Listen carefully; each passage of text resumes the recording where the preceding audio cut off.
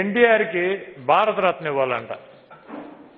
సిగ్గుచారం లేదు ఈ మాట చెవటాకి ఇంకో పాతికేళ్ళైనా కూడా ఈ చంద్రబాబు బతుకుంటే ఇదే చెబుతాడు. ఆయనకి భారతరత్న ఇవ్వాలని నేను డిమాండ్ చేస్తున్నా అంటాడు. ఎప్పుడు చేస్తున్నావురా బాబు నువ్వు డిమాండ్ అంటే ఎన్టీ రామారావు పుట్టినప్పుడు పుట్టినరోజు నాడు చనిపోయిన రోజు నాడు మహానాడులోను ఆ ఘాటు దగ్గర కానీ మహానాడులో కానీ ఒక కాగితం మీద రాసి ఈ పోకోటి అందరూ కలిసి ఒక తీర్మానం రాసి దాన్ని జేబులో పెట్టుకుంటారు.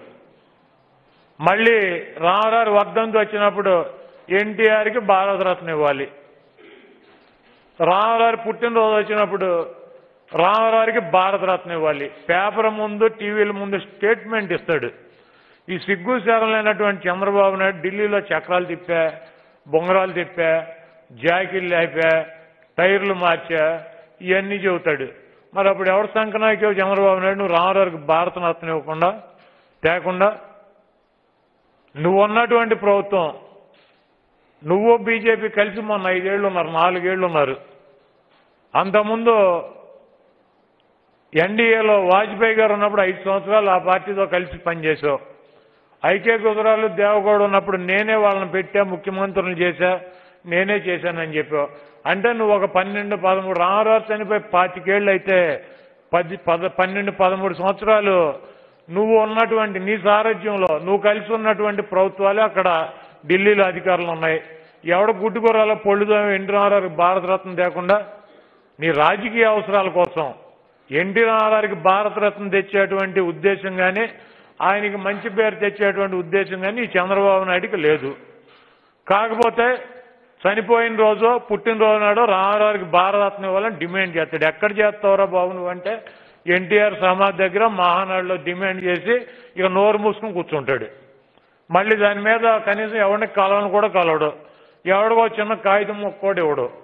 ఇటువంటి దుర్మార్గుడు చంద్రబాబు నాయుడు. ఇంటి రామారావు అభిమానులు కానీ తెలుగుదేశం పార్టీ శ్రేణులు కానీ గమనించాలి.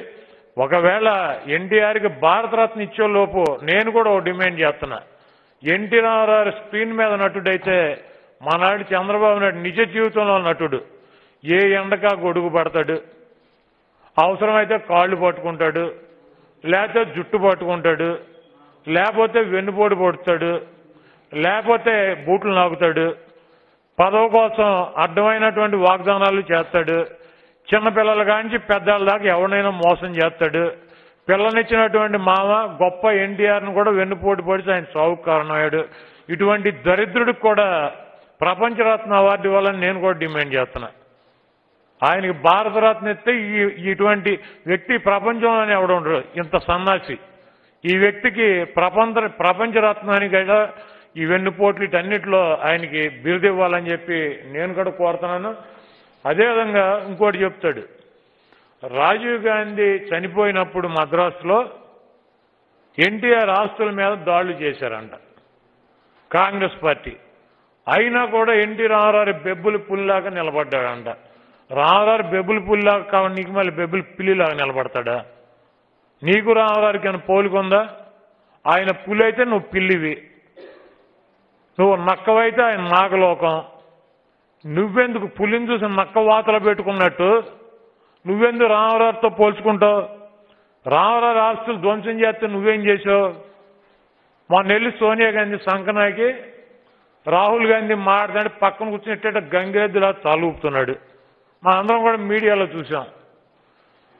వాళ్ళేమో కాంగ్రెస్ పార్టీ దాడులు చేసింది. ఎన్టీ రామారావు హరివీర భయంకరంగా మిగిలినటువంటి బీజేపీ కమ్యూనిస్టుల్ని కలిపి కాంగ్రెస్ మీద పోరాటం చేశాడని వాళ్ళు చెబుతాడు. మొన్న తెలంగాణలో ఎన్నికలు జరిగినప్పుడు ఏం చేసావు అదే కాంగ్రెస్ పార్టీ సంకనాకావు నిన్నెవడో పిలవకుండానే పిలవని పేరంటానికి వెళ్ళినట్టు సోనియా గాంధీ ఇంటికి వెళ్ళావు. బయటికి రాహుల్ గాంధీని వేసుకొచ్చి అతను ఏదో మాట్లాడుతుంటే నువ్వు గంగిరెద్దులా తలుపుతున్నావు. ఇవన్నీ రాష్ట్ర ప్రజలు చూడలేదా? ఎన్టీ రామారావు ఆస్తులు ధ్వంసం చేసిన వాళ్ళు ఇంటికి వెళ్ళి నిన్ను సంకనాకమని చెప్పి ఏ సన్నాసి చెప్పాడు? నీ ఇష్టం. నీకు అవకాశం ఉంటే మోడీని అమ్మనాభూతులు తిడతావు. అవకాశం లేకపోతే మోడీ గొప్పడని చెప్పి పిల్లిలాగా ఎవడకు కనపడకుండా కూర్చుంటావు. నీకు అవకాశం ఉంటే సోనియా గాంధీని తిడతావు ఎవరినైనా తిడతావు. నీకు అవకాశం లేకపోతే వెళ్ళి సంక నాకేస్తావు. అందితే కాళ్ళు లేతే జుట్టు.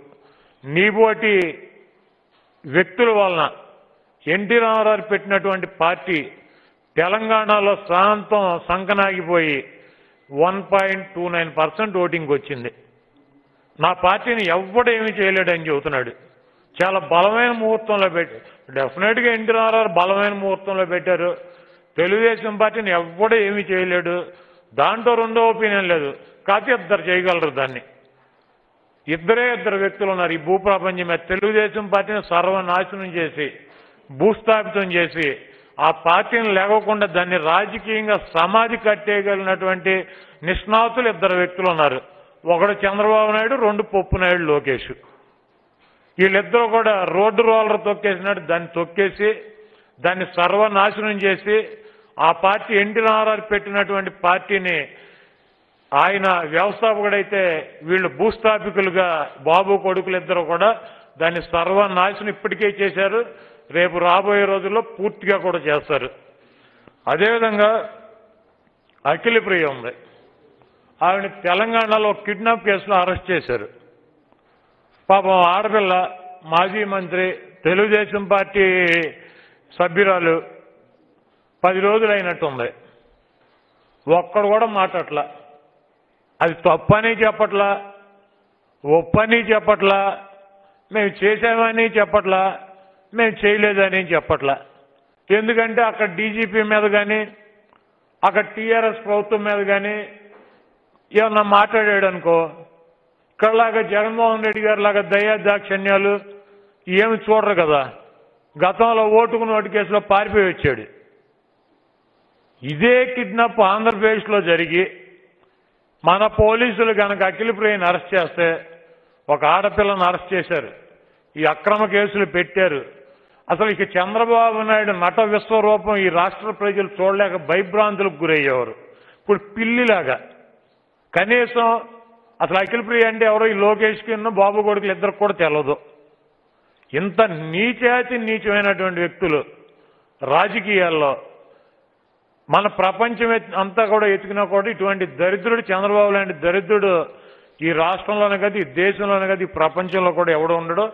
కాబట్టి ఎన్టీ రామారావు గురించి ఎన్టీ రామారావు వ్యక్తిత్వం గురించి ఎన్టీ రామారావు గొప్పదనం గురించి ఆయన సినిమాలో ఎటువంటి క్యారెక్టర్లు చేశాడన్న దాని గురించి ఈ రాష్ట్రంలో ముఖ్యమంత్రి హోదాలో చేసినటువంటి సంక్షేమ కార్యక్రమాల గురించి ఎన్టీ రామారావు మీద ఏ పార్టీలో కానీ ఏ వ్యక్తిలో కానీ రెండో ఒపీనియన్ లేదు.